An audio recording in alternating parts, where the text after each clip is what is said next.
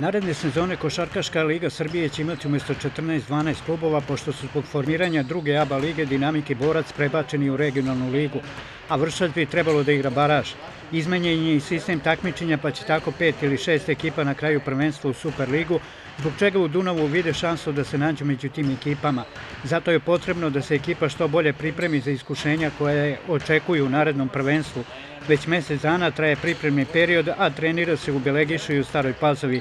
Mesec dana već radimo, ovo je za sad prošlo, prošlo jako dobro, imali smo puno igrača na probi, mi smo te, od tih mnoštva igrača ovaj, uh, odabrali ono što nam treba ovaj, i ovaj, polako se spremamo za, za početak sezone, imamo još mesec dana do početka, tako da mislim da je, da je za sada sve dobro i za sada sve funkcioniše kako treba.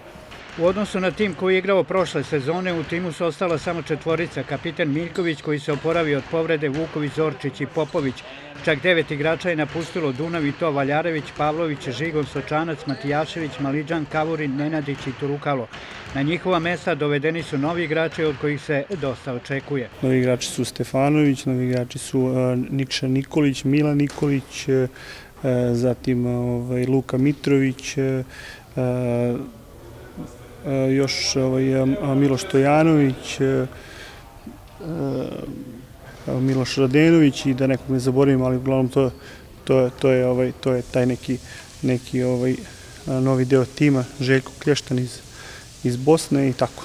Prvenstvo u Košarkaškoj ligi Srbije će početi 14. oktobra. Dunav će kao i prošle sezone svoje utakmice kao domaćin igrati u Staroj Pazovi, a u prvom kolu u halu Park stiže Beo Vuk 72 iz Beograda.